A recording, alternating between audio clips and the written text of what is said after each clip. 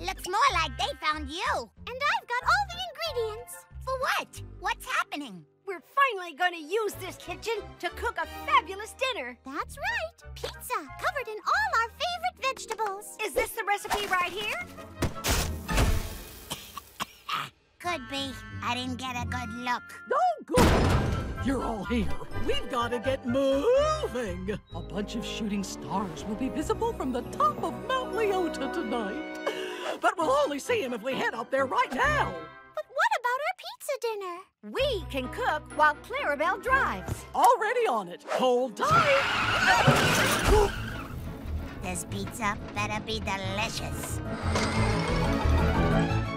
Step one, chop the veggies.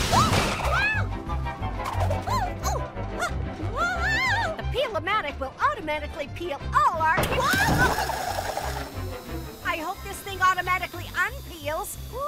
Clarabelle, um, could you please try not to hit so many bumps?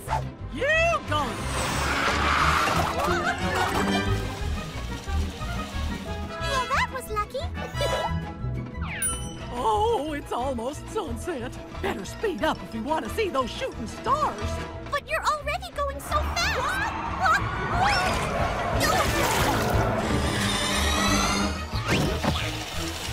Slow down so I can pick the right spice. um, this might be a bit spicy. And this might be a bit.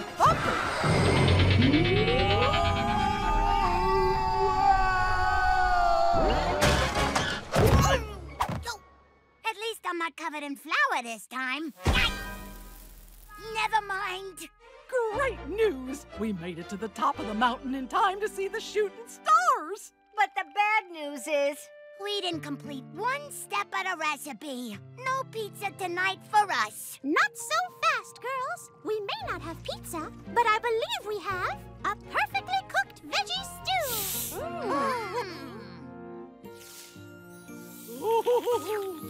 Yumzo. I'll take seconds.